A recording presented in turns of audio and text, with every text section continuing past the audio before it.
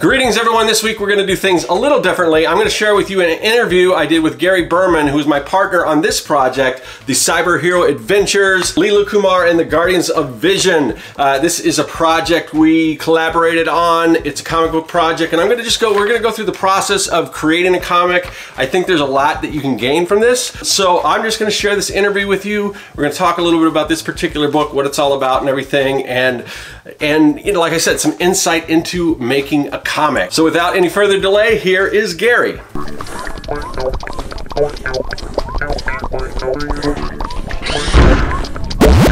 Hi everyone, this is Gary Berman, host of the Cyber Hero Adventures show. And today we have a very, very special episode where we're going to be taking you, for the first time ever, behind the scenes into our comic creation process. And I'm really, really honored to have our creative director and uh, my partner in this endeavor, Scott Circlin. Hey, Scott, welcome to the show. Hey, Gary, how's it going?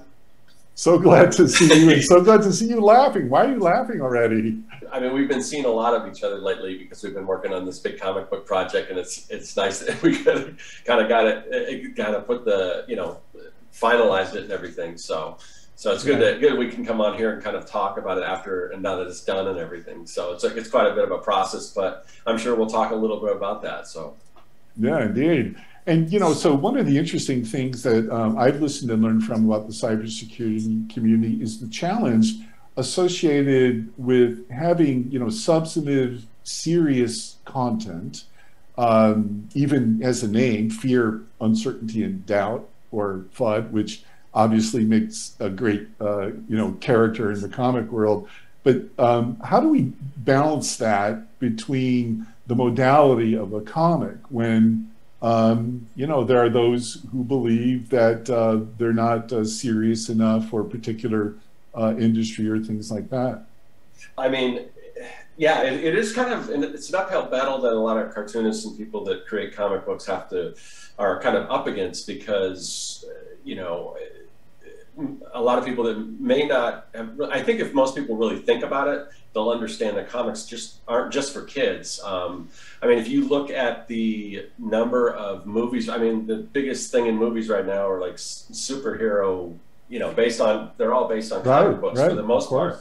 And if you've ever been one of those shows, it's not all kids. It's not like you're going to, you know, like a a Disney movie or something like that. Um, right. There's people of all ages. I go to comic conventions all the time. I do signings and things like that. The people that are coming up to my booth uh, very rarely are, are children. I mean, I, I would say I would say you know more more adults are probably interested now in comics than, than probably even children. So it, it's it really is a big you know it's it's a large and and even narrowing it down to just superheroes, I mean, that's not even fair because comics can be anything. When people say, well, I don't, I don't really like comics for whatever reason, they're usually referring to, I'm not into superheroes when, you know, comics can, can cover so many different subjects just like prose can, you know? So, I mean, it's, it's, there's, there's comics based on everything. And, and some of those comics are educational and there've been, comics that have told really serious topics. If anyone's familiar with with uh, Art Spiegelman's Maus, I mean, it told the story of the Holocaust. Right. So if you yeah. can do that, you can tell anything. People do. I mean, uh, you know, just there, there's comic, basically anything you can think of. There's been a comic book that is that has illustrated that. So, well, um, you know, just to build on that, to build on that point, I mean, you know, one of the um, interesting things I've come across um, over these past years is. Um, kind of research about how the brain, you know, processes information, and by using um, a visual medium, you know, such as comics, graphic graphic novels, it actually ignites different parts of the brain and and, and can facilitate uh, absorption of the knowledge.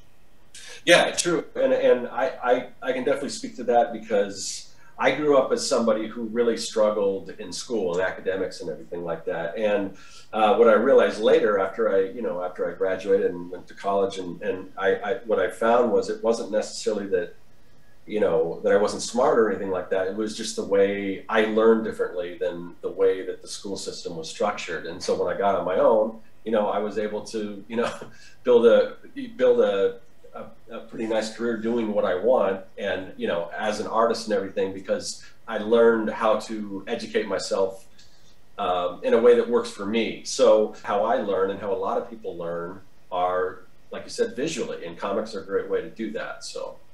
And you know how you and I first uh, came to know one another was through your great uh, series and your your books and your YouTube videos, uh, making comics 101.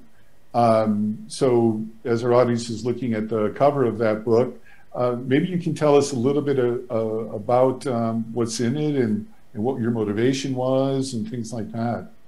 Yeah, so I mean, I've been I've been doing YouTube content for a while, and again, that's because I think a lot of people they learn visually, and like I know, and and it can be different. For instance, like if I'm watching a YouTube video or something, if it's just if it's just uh, you know a, a narration. Um, or if it's just say if it's just text on a screen and then it's got music in the background sometimes you'll find youtube videos like that where right, you yeah. read the text. To me i need somebody to actually like talk through the process. So and somebody else might might learn a different way. But for me so that's kind of the content that i do. And i i basically i you know because i am a cartoonist i do a lot of stuff. I've learned a lot along the way. And when I was coming up, I didn't, you know, I didn't have YouTube to teach. You know, there were some books and stuff on the subject, but um, and back then, a lot of a lot of illustrators they were hesitant to share things because it was like, oh, this is a carefully guarded trade right. secret or whatever. Right. Nowadays, people are more people are more apt to put that information out there, and you can,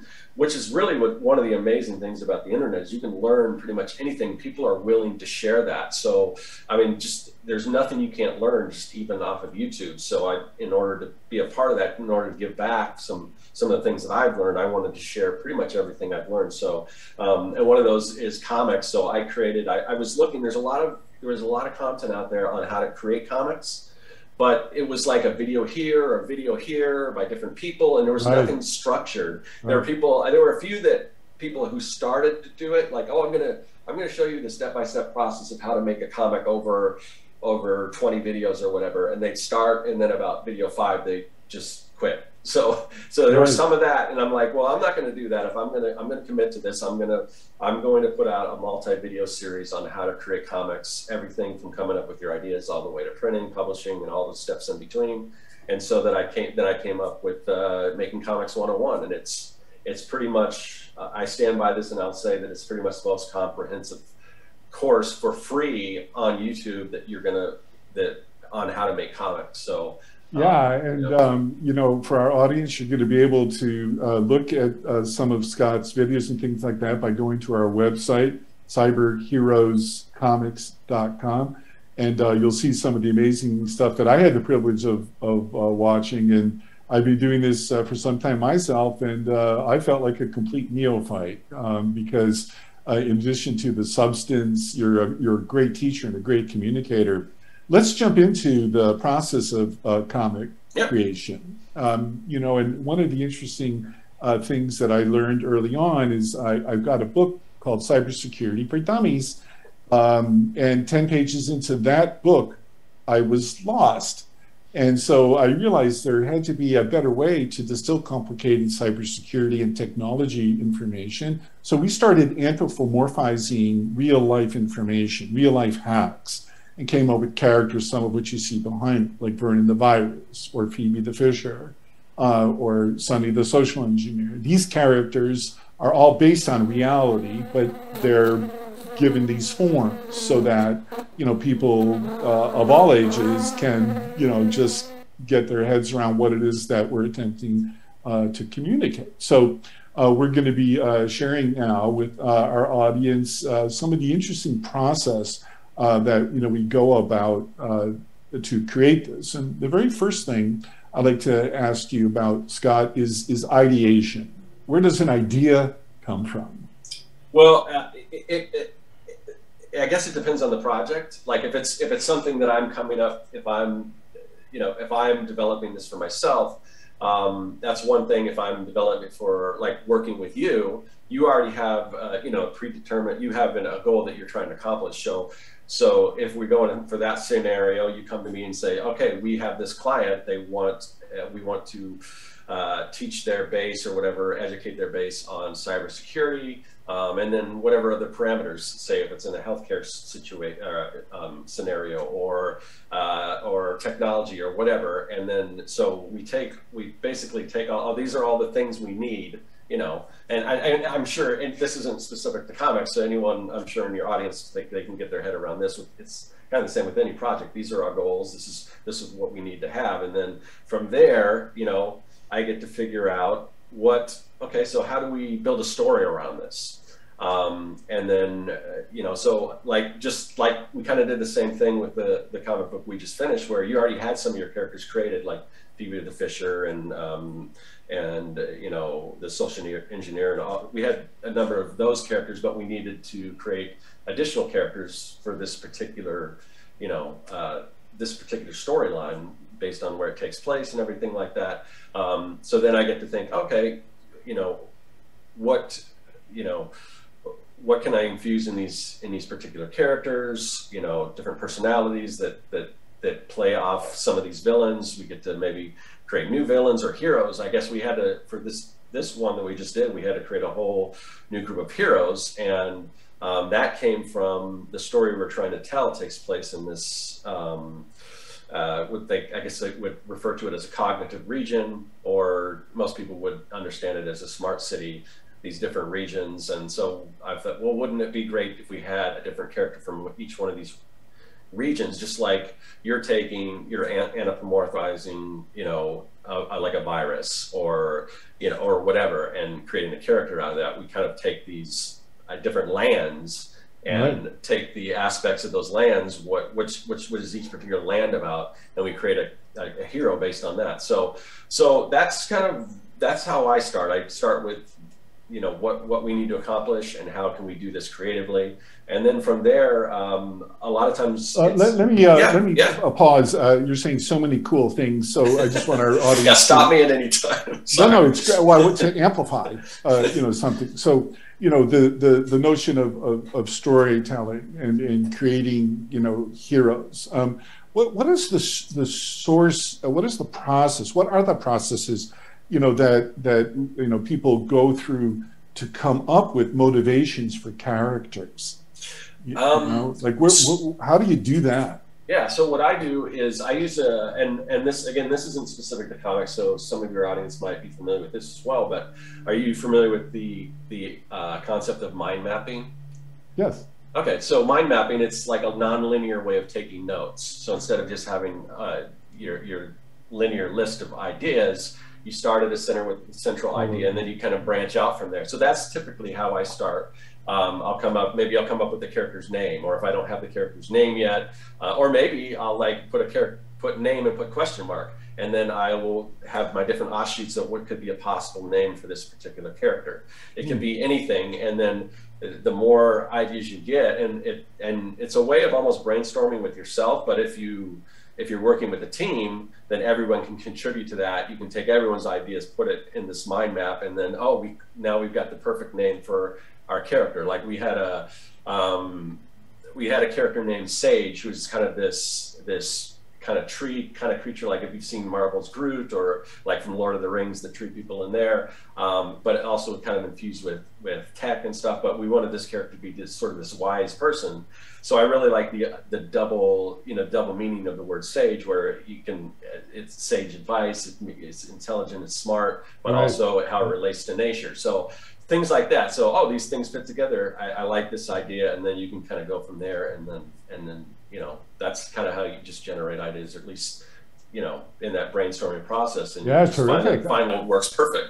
So you know, so you know, you uh, you generate the idea. Uh, you know, the the heroes. They're they have some type of form. They have some type of name. What about the plot?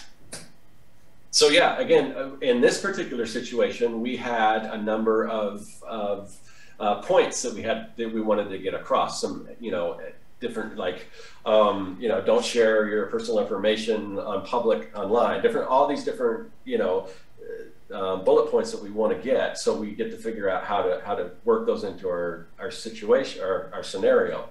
So I use that sort of a skeleton, and then again it's it's a lot of maybe moving puzzle pieces around. Like, okay, so how do we? Because the main character in our story was a kid, and then we've talked. There's another thing about you know sharing, you know.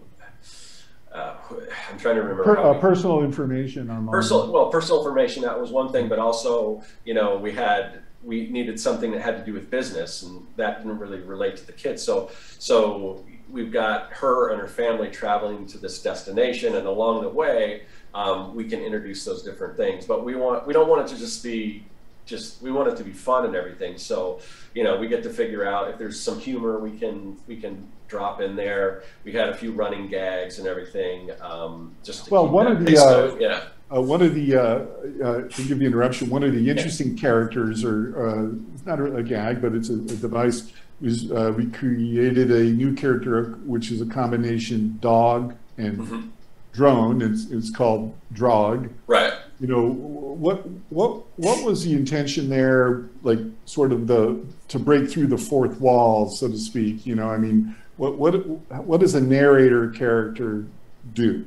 Okay, yeah. So I mean, and and Drog, just just to give Gary credit, Drog was created before I was kind of brought on, but I think we were able to kind of take that idea and do something interesting with it. With with um, we did want to speak directly to the audience, to the reader, and so Drog is somebody who he's not really he's not really along with the heroes or the family on this journey that we you know but he's there just for the reader. So he'll pop up and he'll just reiterate because there'll be something going on in the scene where somebody is sharing their personal information and Drog is there to pop up and say, you know, oh, don't do this. That way you can, it's, it's just kind of fun. It's familiar to kind of see him pop up time and time again throughout the story and just kind of you know add a little punch to what's going on in the story. Also, it's it's a good way to um, it's it's a good way to like introduce the story you know, he because he's basically kind of like the narrator, you know, and we did some we did some certain things to make sure that that people know that he's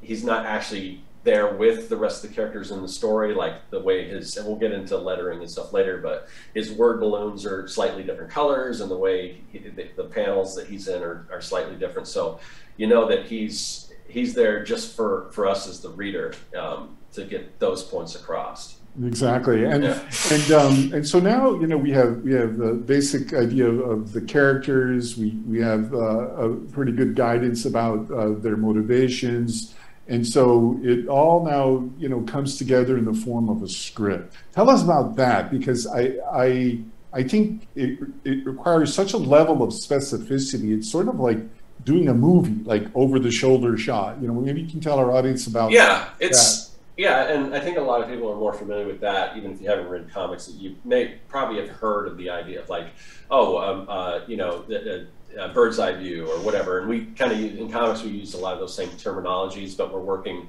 We're not necessarily working in. I mean, I guess we still work in scenes, but they're also. I mean, comics offer comics are unlike other mediums and there's certain things you can do in comics that you can't do in any other medium. For one for one thing in comics you can set the pacing of the story by say the number of number of panels you use where if you're if you're watching a movie you're it's it's the movie's going to go along at the pace it's going. Right. Um, with comics people might slow down and if you if you do some interesting things with panels like if you have if you want to really get the point across that this what's going on right now is really a slog or boring you'll just you'll just you'll have a whole bunch more panels where very little happens from each thing to the next. Or if you want it more exciting, then it's then it's faster paced, and you can do all that with panels. So so there's some of that when you're writing the script. So you're thinking about you know what's happening on each page. You got to take into consideration the page turn. For instance, if you want a big reveal, you don't want to show it on the opposite page. You want to make sure that when they flip that over and it's a brand new page, that that's oh wow because you don't want them to see it before they you know they kind of flip it. So so that's another thing you have to think about is the pacing. You've got you know usually when you open a comic you've got one facing page and when you open it you have a spread and then it's spreads till the very eh, last page. So you get to figure out oh what's kind of understand what's going to happen and when that page turn is going to happen. So if you have a big reveal, it's not you don't already see it until you turn that page. Like oh wow. So so yeah, things no, like that's cool. Yeah. yeah. stuff like that are things you want to take into consideration when writing your script for your comic. Yeah, uh, it's, it's, a lot more complicated than, than, than I thought when I first started getting into it. And, and uh, as we're getting even more granular, it's, it's incredible the process. Um, okay, so let's say we have a, a, a fully developed script. Uh, what's next? So from there, what we'll do is we, and so this whole process can be typically it's like an assembly line process where different people have different roles to play. Although somebody can create a comic themselves from start to finish, they can write it, draw it. I, I, mean, I've got my own personal comic that I do all that, but then I, I do other projects where, like in this one, I'm even though I am an artist, we had another artist working on this, and I, I did the writing uh, chore on this one. But um, so so basically, we've got the script, and the script pretty much you know, explains what's happening. Then that script is usually given over to a penciler. Um, and the penciler is basically the illustrator. Sometimes the penciler can also be the inker. And what, what the inker does, and I'm getting a little ahead of myself, but just to explain what's going on. Um, the inker makes it basically so it's print ready because pencils don't always reproduce as crisp, so they've got to go over with ink. The penciler could also be the inker. Um, in this case, that that was the case. Um, and any pencil might not even mean pencil because a lot of times now we do stuff digitally. But so the pencil usually what they'll do is they will do uh, what we what we call uh, thumbnails, or some people might refer them to them as storyboards. So it's basically a real rough um, interpretation of what's going to happen in the story, and I'm sure we've got some some visuals to kind of show you. Um, yep. uh, and so, so we've got a rough idea, and this can be, it, it's really up to the artist how rough it is, as long as they can communicate what's going on. It could be, it could be stick figures. Um, our illustrator in this project, her roughs are pretty, pretty, for roughs anyway, um, they're, they're pretty tight. So, but anyway, uh, basically lay out everything so you can see visually so everyone can see visually the writer, and then that way you're not spending a whole lot of time drawing a page and like, ah, oh, that's not really what I wanted, and then they have to redraw it. So you get the idea of what the illustrator is imagining with these rough drawings. Um, then once all those rough drawings are approved, then they start to do the more detailed pages, the pencils, and then um, if, then if the pencils are done, they could be handed off to an inker, or the penciler can do the inking themselves. And so um, our audience is looking at some samples of that uh, now as as um, as we're speaking. Um, and and so after we have the the pencil, the inker, um, or, or the digital you know representation of the story, um, the next step is to add color. And yeah. uh, that's pretty complicated, isn't it? What color palette, for example? Yeah, yeah. so, so and, and, and, and not all comics have to be color. I mean, I do a comic that's a black and white comic. Um, but but in, in this case, you know, we do, I think, I think there are people like me who really love black and white, just the line art stuff. But for the mo- for the general population, they want to see stuff in color. Um, unless you're talking about like Japanese manga or something, which a lot of times is black right, and white. Right, but, yeah. but um, so anyway, but in this in this book we are doing color, so we have to have a color. So um, and it's it's really a lot of a lot of colors have sort of a painting background. They have a really good understanding of color theory. Um, so they know how shadows fall, how that affects things. They know, you know, how to create a, mood based on like if you're if you want, if you're in like a warm environment, you're using reds versus a cool environment, you're using, uh, you know, blue, cool colors like blues and things. And that also can, that also gets the emotion across. If you want something, if you want to kind of uh, give sort of a sense of anger or something, or, or then you might go with a more of a warmer color palette versus a cooler. There's all kinds of, you know, things that if you learn color theory, you can, you, you can kind of integrate into well and also uh, you know many many brands uh, yeah. have uh, approved colors you know and and understandably they're uh, very um, they want to make sure uh, that the color palette fits within their their structure and how their brand is is represented in, in graphic form right yeah and yeah it's it's really no different different than um, let's see. I mean, I mean, red is used a lot in, in branding and everything, but there's some there's you know there's some companies that that's not really the, the look they want to get across. If they, you know, you could either use something different to differentiate yourself, or you know maybe maybe we want something. I mean, any any business you can look at, there's there's really particular reasons why they picked out their their color scheme. So. Yeah, indeed, and it's important to be aligned, you know, and Yeah. consistent uh, with that. So, so now we have the colors, and so um, here's, you know, one of the the final steps, which is uh, merging the the script, in other words, the dialogue, Mhm. with everything that's been done in the form of uh, what are referred to as thought bubbles. Maybe you can uh, share with our audience um, the nature of, of thought bubbles, and then also how do you imbue uh, uh, you know, a comic with sound. Yeah, yeah. So so for that, that task is done by the letter. So they're usually a specific person that does the lettering, and you know they can be referred to as different things. They can be referred to as speech bubbles. I, I typically refer to them as word balloons or thought balloons, depending. You know, if it's something somebody's speaking, that would be a that would be a word balloon versus something somebody's thinking. That would be a thought balloon or whatever. Right, and there, right, and there's different ways to represent that. Um, you know, uh, a, a, a thought balloon would be more. It kind of looks like a puffy cloud. It could, but nowadays a lot of com- a lot of comic artists are moving away from that and more of a they like have an inner thought, which might be in a box, which would be like a caption box, or in our case, like with a we have a narration. Um, it more might be more of a kind of a square thing, like oh, this is the city, blah blah blah, to introduce things. If it's something that's not being spoken by a character but a narrator, that might be in a, a caption box. Um, and there's all kinds of different way, word balloons you can use. If it's a robot speaking, you might have like a kind of a, like a lightning bolt balloon tail. So the bal- balloon is basically its structure. It, it is kind of what it is. There's a balloon, which is the the the, the bubble part, and then there's the balloon tail, which is what comes down and kind of points to the character, whoever's speaking, so you know who's speaking. And there's a lot of rules, like it's kind of like Ghostbusters, where you don't cross the streams, like you don't want to have a balloon here, a balloon here, and then opposite to the person talking, where the balloons cross. And there's all kinds of rules and stuff like that that I don't want to bore you with, but but there, you know, there's just tons. And I've got a, I, I've got, I've, I've designed like um, tutorials and things like that on. I've got something called the Comic Lettering Masterclass, which talks all about that kind of stuff.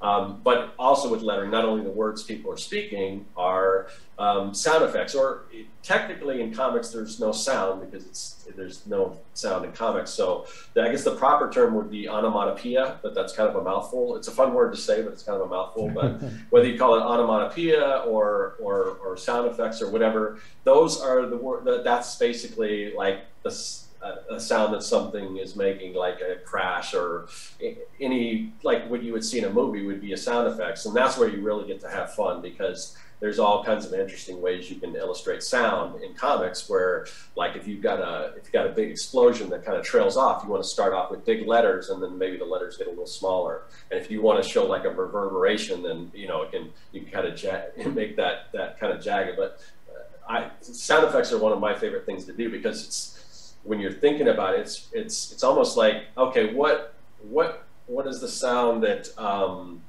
say uh, so so we've got in our I'm, I don't remember the sound effect that the that this the um, that the letter used on ours, but we had one of our characters shoot a harpoon and it, it, it shoots through and then it hits like it hits like a, a, a like a panel or something on a yacht.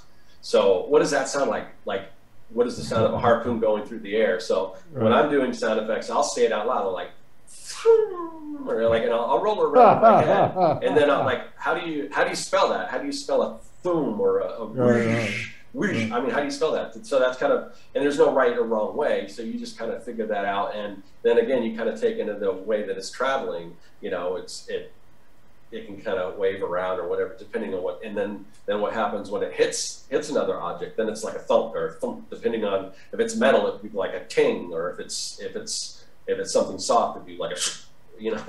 so Yeah, yeah, so anyway, so that's the job of the letter is. Well, you're, you know, you're, you're also touching on something as we're wrapping up here, you know, that's incredibly central to our DNA, um, which is that this is fun.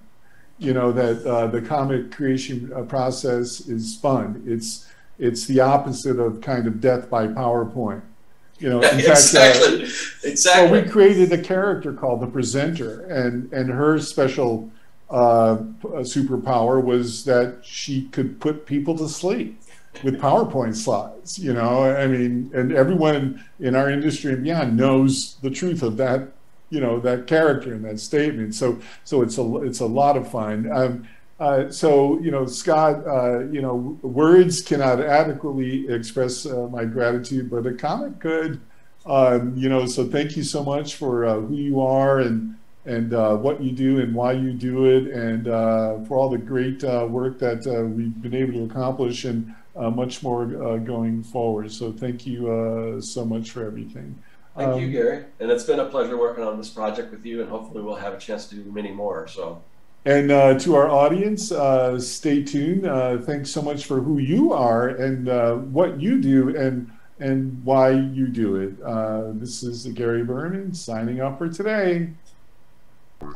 Hey, thanks for watching. If you like what you saw and you want to see more, hit that subscribe button. Also, you can follow me at Serkworks on social media, and now you can support the work that I do on Patreon. If you like making comics? Then go to Serkworks.com and pick up the Comic Maker Starter Kit. It's packed full of fonts, brushes, templates, and more. And best of all, it's totally free.